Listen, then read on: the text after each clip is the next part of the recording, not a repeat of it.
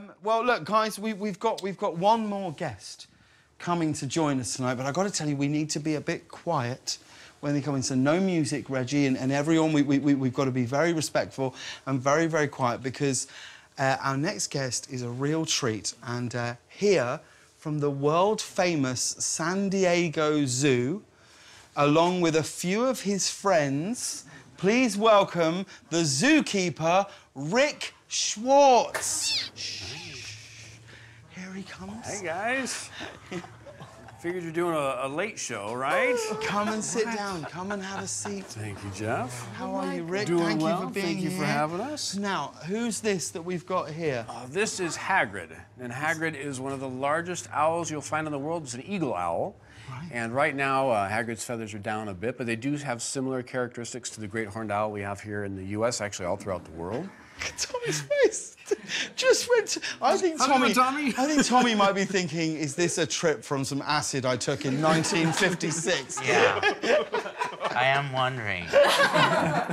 How are they able to turn their heads? It's pretty cool because we look at the body here, it looks like it's just swiveling in place, right? Yeah. So as they turn, the uh, all the, the basically the, the brain stem, all the stuff for the blood vessels, everything else can go without being pinched because they're in these little grooves in the neck. Now they can't do a full circle around, that's just a myth. They can go about even with the spine on this side and they have to stop and then come back around that way. Very important to be able to do you that. she's- she's there you go, right- now look you at can that, see the look. owl. Right on cue, Hagrid. You're crushing it tonight.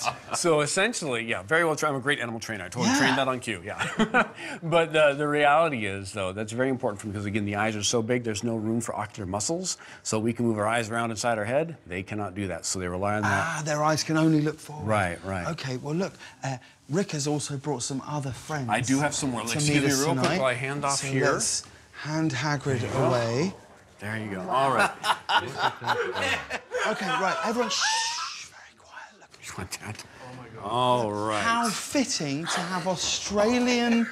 Aus- Are you from Australia? Yes. Oh, well, this is very boring for you then. Yes. Might as well bring a, a rabbit in here for everybody else.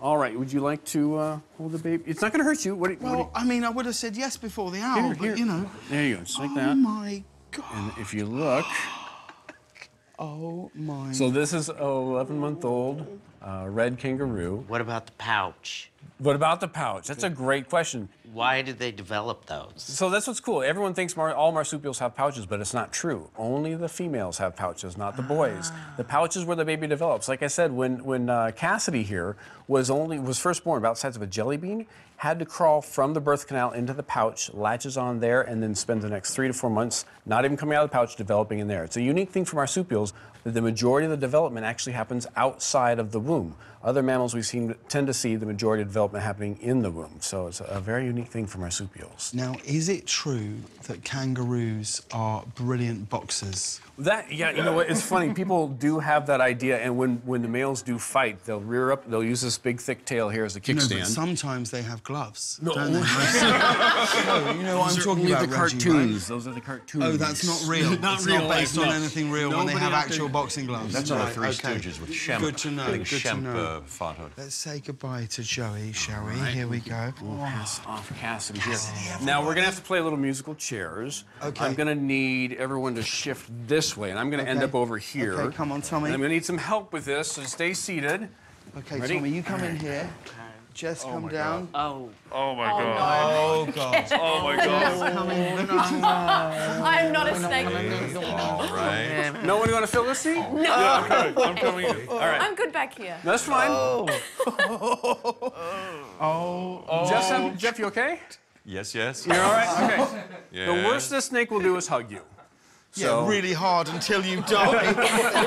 I don't think they call it hugging. I think they call it prep for lunch. It's, no? Yes, yes, softening the food. So this is a Burmese python. Uh, roughly about 90 pounds and you know clearly very long. I can Very- physically feel Tommy shaking.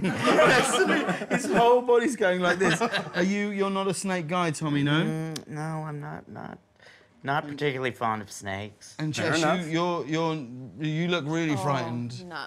don't like She just wanted a nice. She wanted to look good for TV up there. It's a good scene.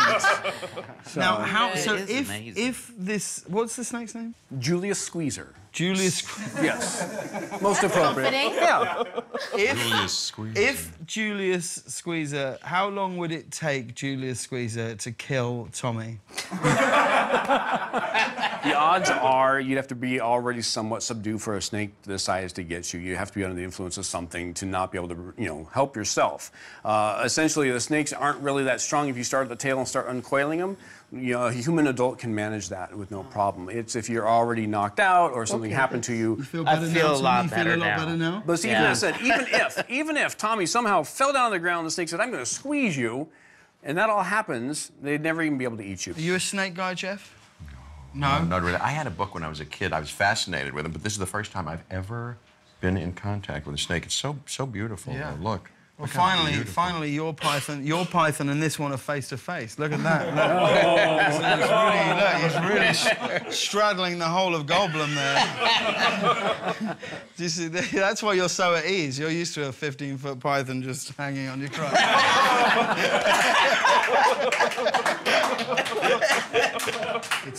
It's a beautiful animal. Uh, Rick Schwartz, everybody, thank you so much My for bringing pleasure, your my animals pleasure. down. Yes. We're going to be right back after this break. Don't go anywhere.